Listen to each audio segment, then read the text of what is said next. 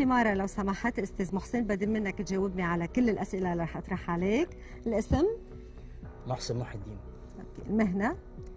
مخرج وممثل ومنتج زي ما انت عايزه العمر؟ 17 داخل في ال 17 جد ولا مش مبين عليك. لا مش مبين عليا بس يعني دي في 40 سنة كمان فوقهم أنا بعرف الستات عندهم مشكلة بالعمر حتى الرجال عندهم مشكلة بالعمر. لا لا لا لا أنا بس بضحك يعني. طيب العمر لكان 57 57 العمر كله. نوع الفحص اليوم اللي عبالك آه، تشوفك الدكتورة من خلاله أي نوع فحوصات؟ نعمل تشيك على كله. ما في قصص معينة شغلة معينة حابب تطمن بالك أكثر عليها؟ والله هو الواحد دلوقتي مع السن لما بيكبر النظر شوية بيضعف. النظر رح اعطيك عويناتي فرجيني بتقدر تشوف فيهم بص تشوف فيهم ها. رح بلش لك أنا من آه النظر لا لا لا آه أنا عندي أصلي بعد نظر آه بدك بعد نظر طيب آه آخر مرة عملت فيها فحص شامل كان من إمتى؟ تشيك اب لا أنا ما بعملش ولا مرة؟ لا ولا مرة. غريب آه أصل ليه هي نوع من ثقافة يعني عنا نحن كمجتمع شرقي إنه بس لما نحس بشغلة معينة تعبنا بنروح بنشوف الدكتور ولا لا كيف؟ هو هو إحنا يعني نظام حياتنا هو اللي بيخلينا نروح للدكاترة.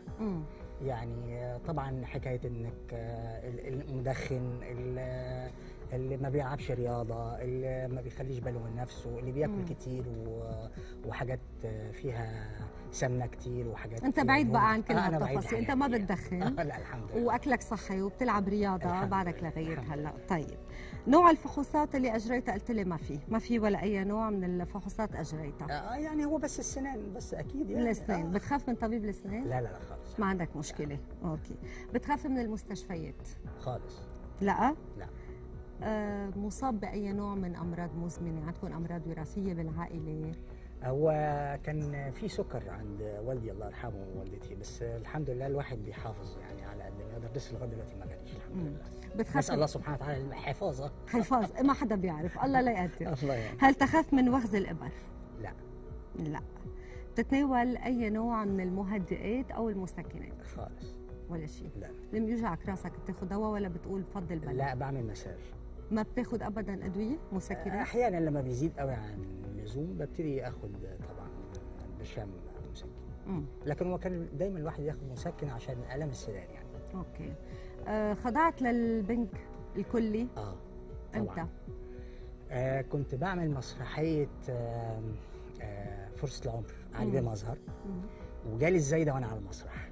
أنت وعم تلعب آه. المسرح مم. بس ده كان من آه، حاجة و آه، يعني 76 سنة 76 okay. وجالي زايدة والزايده كانت في حالة صعبة وكملت المسرح لغاية الآخر وبعدين مع الوجع مع الألم. كل طبعا. آه. أخرج بره أصوت و... وأرجع أصوت على المسرح بس غير غير صوت على المسرح. بالظبط كده. وبعدين بقى عملت عملية آه. آه، في ذكريات معينة آه، لها علاقة بالمستشفى بالنسبة لك يعني في صورة ما بتقدر تنساها من داخل المستشفى في شيء بس تمر قدام مستشفى بتتذكره آه لا بصي أنا أنا أنا من ناحية يعني أي حاجة حدث بيحصل لي كبير أنا ببقى عندي تركيز جامد قوي وبعد ما بيخلص ببتدي آه، أفك يعني آه. آه يحصل لي بقى انهيار يحصل لي زي ما- يعني أي حاجة مم. لكن طبعا ال- المستشفيات هي حاجة مش لطيفة يعني مش لذيذة يعني. آه طبعا في بيبقى ليكي احبائك في آه والدك أخوكي آه مضطر تزورهم يعني بالمستشفى. طبعا طبعا. لأنه في أشخاص أصحاب. آه حتى في أشخاص بس ما بيقدروا يروحوا المستشفى ابدا. آه آه، آه بالظبط. ما بيقدروا يفوتوا أنا على أروح المستشفى. المستشفى و... وبنهار من بعد المستشفى. بالظبط. بس شو رايك بالمستشفى تبعيتنا. نحن المستشفى لا، مريحة. مريحة خالص. إيه بس أنا هحجز دا- على داعي طول. معاك أنا في كل الحلقات ما في شكوى معينة؟ هذا آخر سؤال. لله عليك الطبيبة رغدة. ما في شكوى معينة؟ لا الحمد لله. امم أنا ما بعرف حاسة صحيا الوضع ممتاز. يا رب. تضل هيك بس. نفسيا شو الوضع؟